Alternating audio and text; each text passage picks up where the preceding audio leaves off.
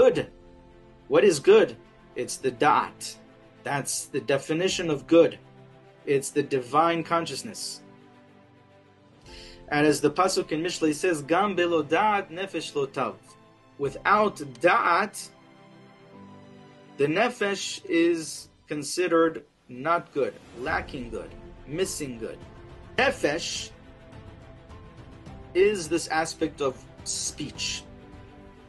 It's the final aspect in consciousness that the, the manifestation of what is going on in our consciousness, if you look at your head, you have all of the aspects of your consciousness here, the three brains that we speak about, the chokhmah and the bina and the da'at in the middle.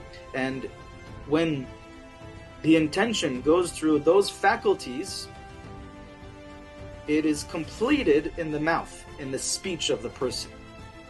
To the extent that the speech of the person contains divine consciousness, is the extent that that speech is complete and it is channeling the good, that which is good.